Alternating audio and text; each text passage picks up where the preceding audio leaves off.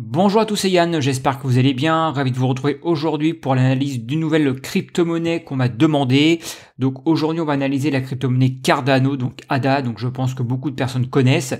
Donc comme d'habitude, une petite review très rapide euh, sur le fondamental. Et puis on fera comme d'habitude, on terminera par une analyse technique et graphique pour voir s'il y a une opportunité et comment se comporte justement cette crypto-monnaie. Juste avant de commencer, je vous rappelle que dans la description de cette vidéo, vous avez une leçon qui est totalement offerte, donc qui, vous explique tout simplement ma stratégie personnelle et complète sur le Bitcoin. Donc vous allez voir, j'ai une stratégie, une façon un peu atypique d'investir sur le Bitcoin. Donc je vous explique tout ça dans cette vidéo, dans cette leçon, pardon. Et c'est normalement une leçon qui est réservée aux membres de mon service payant l'investisseur Zen. Mais pour vous aujourd'hui, c'est totalement gratuit. Donc le lien se trouve dans la description et n'hésitez pas à en profiter d'aller faire un petit tour. Alors Cardano, Cardano c'est quoi? Bah, C'est tout simplement un concurrent direct d'Ethereum, donc c'est une blockchain de layer 1, donc qui crée des smart contracts. Donc Cardano existe depuis quand même très très longtemps, depuis 2018. Donc gros projet qui est créé par euh, Charles Hawkinson, qui est, euh, bah, qui est un des fondateurs à la base d'Ethereum, hein, avec Gavin Wood. Donc voilà. Donc au niveau en tout cas de du projet en lui-même, bah, voilà, on sait que c'est un projet qui tient la route. Il y a beaucoup beaucoup de développement qui se fait sur la blockchain Cardano. Euh, donc par contre effectivement très grosse compétition encore une fois dans les blockchains de layer 1, mais en tout cas c'est vraiment beaucoup de développement, beaucoup de choses, et je pense que c'est une crypto-monnaie en tout cas qui peut très très très bien se sortir lors du prochain bull run. Quelques actus, donc on a voilà Cardano qui a déployé son son Valentine ou Valentine, je sais pas comment euh, comment on prononce.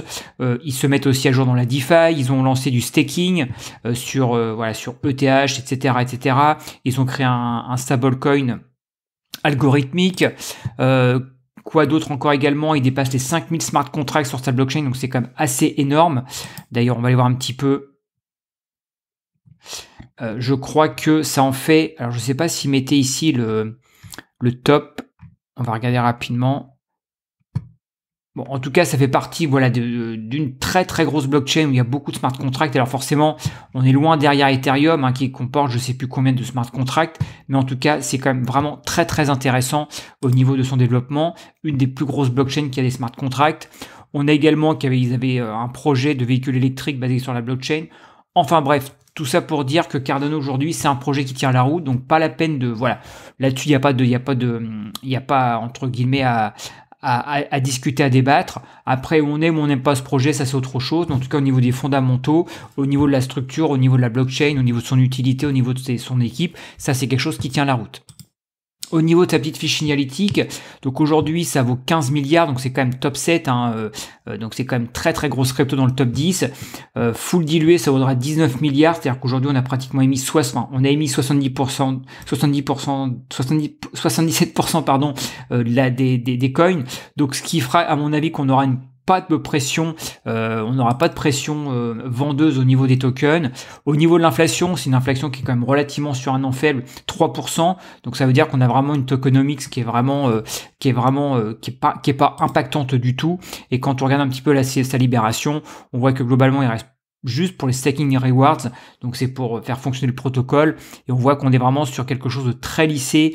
Euh, là, globalement, on est à peu près, alors attendez, 2023, on est ici. Et vous voyez, ça va se débrider jusqu'à 2050.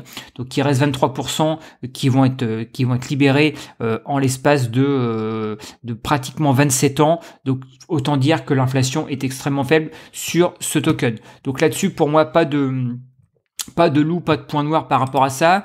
Euh, si on regarde, voilà, cette crypto-monnaie existe depuis 2018. Euh, l'avantage, c'est qu'elle a vécu euh, bah, tout le bear market de 2017, enfin 2018, 2019. Donc, elle a résisté à la tempête. Donc, ça, ça en fait un petit biscuit supplémentaire. On voit que depuis le dernier bull run de 2017, elle a fait ATH sur ATH sur ATH. Donc, c'est une crypto-monnaie qui est plutôt croissante. Donc, ça, c'est quelque chose de plutôt positif. Ça fait ce qu'on appelle un trend haussier. Donc, voilà, globalement, plutôt des bonnes choses sur cette crypto-monnaie.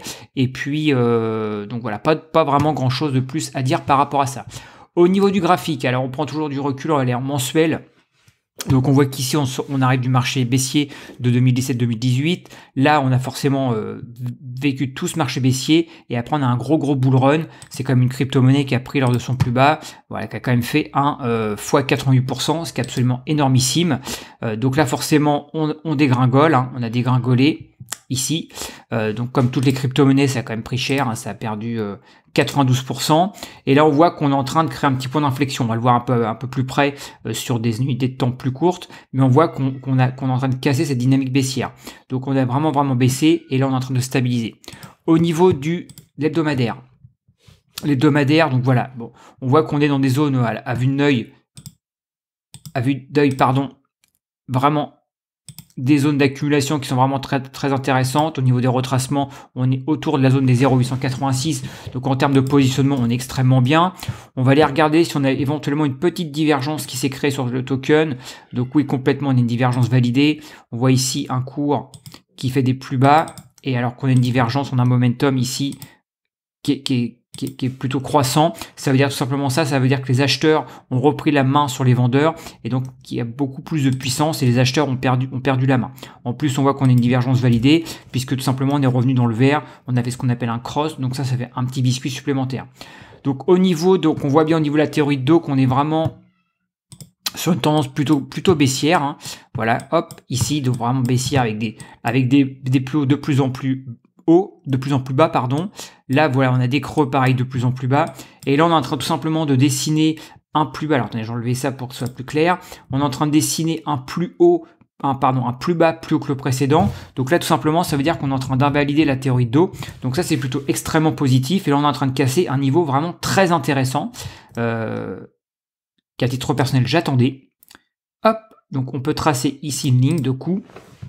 Et là, on a un double creux. Premier creux, deuxième creux. Et là, on a tout simplement un, bah, ce, double bottom euh, qui est en train d'être validé et d'être cassé. Donc là, ça en fait des niveaux vraiment, pour moi, très très pertinents pour investir, euh, puisque l'on voit vraiment qu'on est en train d'inverser, euh, on est en train d'inverser la théorie d'eau et qu'on dessine ce bon point d'inflexion avec ce double bottom qui est vraiment très, bah, très, très propre. Au niveau du potentiel, si on atteint, alors forcément c'est toujours du potentiel, hein, on n'est pas forcément obligé de l'atteindre, euh, on peut aller plus haut, on peut s'arrêter avant. C'est une crypto-monnaie qui a quand même un potentiel d'un x7, ce qui est quand même pas mal, hein. vous mettez 1 euro, vous en gagnez 7.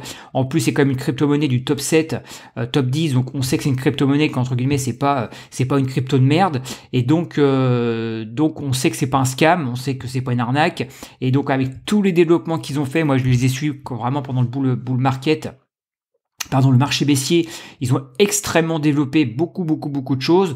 Et donc, euh, bah, c'est pas impossible que cette crypto-monnaie pump vraiment très fortement lors du prochain marché haussier. Donc, on a quand même un potentiel théorique qui est important. Et en plus, comme on a une crypto-monnaie qui est, qui est à forte capitalisation, on peut se permettre de mettre un tout petit peu plus que lorsqu'on met lorsqu'on, par exemple, on se positionne sur une crypto-monnaie du top 100, du top 200, du top 300, où c'est beaucoup plus risqué. Donc, je trouve que le potentiel est vraiment intéressant.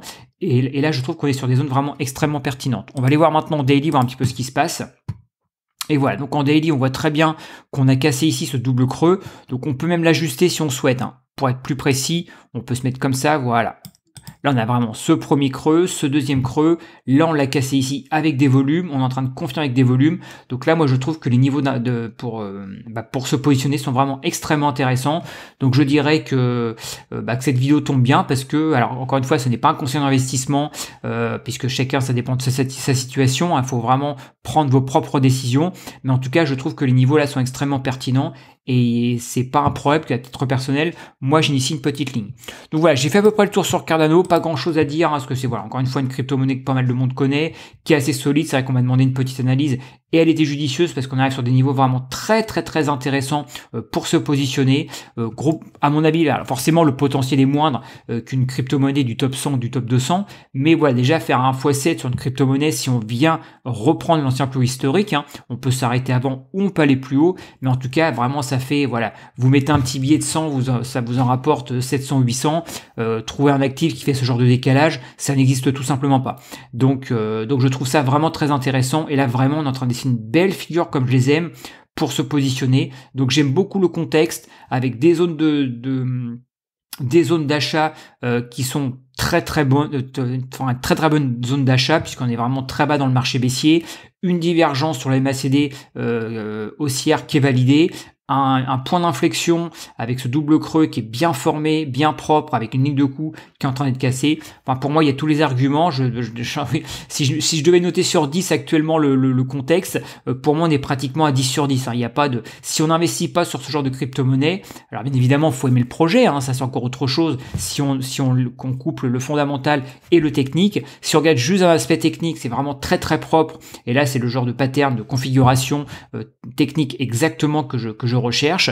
Et après, forcément, si on couple le fondamental, je pense que Cardano est une très très bonne crypto qui peut, qui peut faire de très très belles choses lors du prochain marché haussier et que les, donc les investisseurs euh, pourront certainement s'intéresser euh, puisque on voit également en daily qu'on a des volumes qui arrivent. Donc ça ça veut dire que les la, la smart money les grosses baleines les gros investisseurs s'intéressent de nouveau hein. on, avait quand même fait euh, voilà on a quand même déjà pris c'est une crypto monnaie qui a pris sur son plus bas qui a quand même fait un voilà pratiquement un, pratiquement à 100% donc on voit que les investisseurs s'intéressent à cette crypto monnaie et je pense qu'ils ne vont ne faire que s'y intéresser voilà, bah écoutez, c'est tout pour moi pour euh, cette euh, vidéo. Bah mettez un petit pouce pour me dire ce que vous, pensez de Cardano.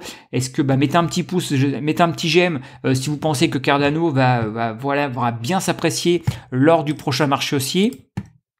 Euh, pensez également à bien vous abonner à cette chaîne et d'activer la petite cloche de notification.